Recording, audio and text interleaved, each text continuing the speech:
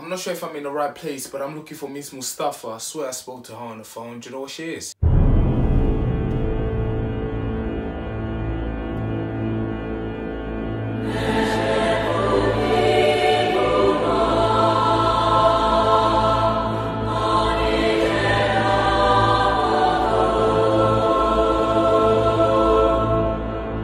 Yo, bro, there's no problem at all. I'm only here to collect whatever she wants me to collect to get this job done. So if you could just tell me what she is, and I'll go find her, bro. Like, Hey, Obama, you trying to take the piss?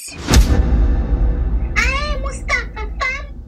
Hey, man's a big man, you know. How you gonna mistake me for a woman? Don't try to disrespect the team, bruv.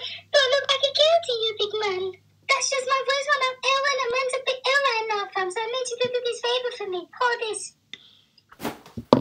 The fuck is wrong with you, fam? Fam, get out my face before I get mad, fam. Trying to disrespect the team and that, fam. What the fuck is wrong with you?